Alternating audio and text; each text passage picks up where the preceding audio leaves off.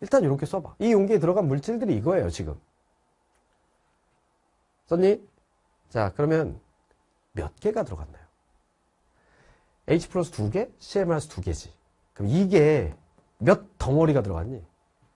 그렇죠. 두 덩어리가 들어간 거죠. 그 다음에 여기에 바륨이온 한 개, OH 마이너스 두 개, 이렇게 보여. 그러면 BaOH2가 들어갔는데 몇 덩어리가 들어갔니? 한 덩어리가 들어갔죠. 자, 그 다음에 여기는 수소연이 4개야. 황산연이 2개고. 그러면 여기에 H2SO4 황산이 들어간 건 맞는데 몇 덩어리가 들어갔니? 그렇죠. 황산은 지금 수소연이 하나당 두 개씩 나오는 이가산인 거지. 자, 그래서 얘가 두 덩어리가 들어가야 수소연이 네 개가 생기고 황산연이 두 개가 생기겠지. 됐어? 자, 그래서 요 A, B, C 용액에서 보면 HCl은 두 덩어리, BOH는 한 덩어리, 그 다음에 H2SO4는 두 덩어리가 들어갔어요.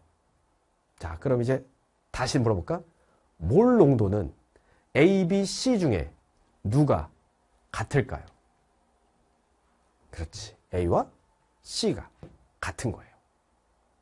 지금 부피는 다 10mm잖아. 그지? 얘 10mm에 두 덩어리, 얘는 10mm에 한 덩어리, 얘는 10mm에 두 덩어리. 이렇게 되어 있는 거야. 즉, 이 몰농도의 정의에다가 어떻게 다시 우리가 써야 되냐면, 여기에다가 이렇게 써놔. 자, 부피분의 몰수에서 이 몰수, 요거를 제대로 잘 이해를 못해서 중합하는 문제를 되게 어려워하는 사람이 많아. 그리고, 어, 계산 실수가 마지막에 답을 다 냈는데 왜 이건 나는 제대로 푼 것 같은데 왜 이게 숫자가 틀리지? 여기에서 시작되는 거야. 여기에서. 자, 이 몰수, 부피분의 몰수인데 이게 용질의 몰수잖아. 몰농도 정의할 때 그렇게 배웠잖아. 용액의 부피분의 용질의 몰수. 그 용질의 몰수가 산염기 중화 반응에서는 산의 염 산과 염기의 몰수가 될 텐데 그게 이온화 이온화 되기 전 이온화 되기 전 이렇게 써라. 이온화 되기 전. 그 덩어리 몰수. 이온화 되기 전 몰수. 이렇게만 써. 그래서 우리는 여기에 들어있는 이온을 갖고 몰농도를 판단하는 게 아니야. 여기에 이렇게 이온화가 이렇게 돼서 이온화가 돼서 이런 이온들이 생기려면 이 산이나 염기가 몇 덩어리가 들어갔는지 그 덩어리로 몇 몰이 들어갔는지 이게 바로 덩어리 몰수예요. 선생님 이제 덩어리란 말을 많이 쓸 건데 자 덩어리 몰수 이온화 되기 전 상태를 얘기하는 거야. 그게 몇 몰이 들어갔니? 이게 바로 몰농도의 기준이에요. 그래서 선생님이랑 이제 어떤 걸 되게 많이 연습할 거냐면 이제 중화 반응 문제를 풀 때 실전에 가면 이제 막 그 표로 많이 나와. 여러 용액들이 나오고 이제 산염기가 나오고 뭐 용액도 여러 개가 나오면서 몇 미리 몇 미리 몇 부피도 막 다르게 나온단 말이야. 근데 푸는 걸 보면 굉장히 많이 써요. 아, 이 용액에 이온이 몇 개 있다, 이온이 몇 개 있다, 이온별로. 그걸 다 쓰다 보면 자기가 써놓고도 뭘 썼는지 몰라. 너무 많이 써가지고. 그래서 최소한으로 필기량을 줄이면서 간단히 풀어야 되거든.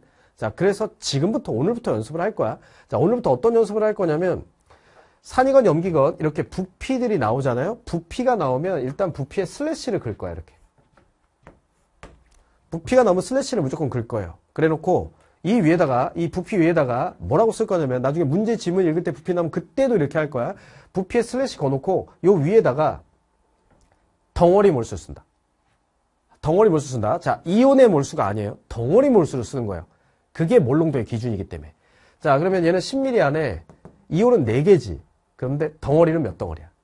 두 덩어리지. 그럼 여기다 2라고 이렇게 쓰는 거예요. 그러면 10분의 2. 이거를 몰농도라고 읽는 거야. 어차피 몰농도가 몇 대 몇 대 몇이냐. 이 B를 세는 게 많이 나오거든. 그래서 10ml에 두 덩어리 꼴. 10ml에 두 덩어리 비율. 이렇게. 그럼 얘는 10ml에 한 덩어리 꼴이구나. 그 다음에 너는 두 개니까 10ml 두개 꼴이구나. 두 덩어리 꼴이구나. 그래서 요걸 이제 몰농도로 보면 되는 거야. 이 비율을.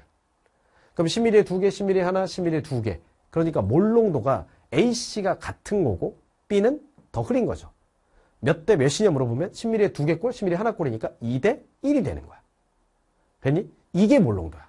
이게 몰라요. 중화 반응하기 위해서 정확하게 이 몰수를 정확하게 알아야 되는데 요게 헷갈리는 사람들이 다 계산 실수들이 생길 거예요. 자, 그걸 우리가 잡고 가는 거야. 자, 그게 잡혔다면 이걸 확인. 자, 이제 D 용액을 봐봐. D 용액은 20ml예요. 자, 20ml인데 그럼 여기에 지금 이온이 뭐가 있냐면 칼슘 이온하고 수산화이온이 보여. 얘가 두 개, 얘가 네 개야. 자, 그러면 여기에 일단 들어간 물질이 누구냐면, 누구겠니? 어, 나 깔까봐 해서 까죠? 나 깔까, 까, 까슘 하면서 우리가 CaOH2. 요거 배웠는데. 그럼 CaOH2가 들어간 거지. 그러니까 얘 하나당 두 개 생기니까 얘 두 개고 네 개겠죠. 그러면 몇 덩어리가 들어갔어? 그렇지. 두 덩어리가 들어갔죠. 그지? 자, 그럼 이제 찾아봐. 얘는 20ml야. 두 덩어리가 들어간 거야. 그러면 A, A, B, C 중에 D와 몰 농도가 같은 걸 찾으세요. A, B, C 중에 D와 몰 농도가 같은 게 있어. 누구겠니? 그렇죠. B인 거죠. 왜? 몰 농도는 비율이니까. 비율이니까. 자, 얘는 20ml에 두 개 꼴인 거야. 20ml 두개 꼴인 거야. 그래서 부피 나오면 이렇게 슬래시 계속 긁 거고, 자, 부피 위에다가 슬래시 긋고 그 위에다가 덩어리, 덩어리 수를 쓰세요. 이렇게. 그리고 비율을 보면 되는 거야. 아, 너 20에 두 덩어리 꼴이구나?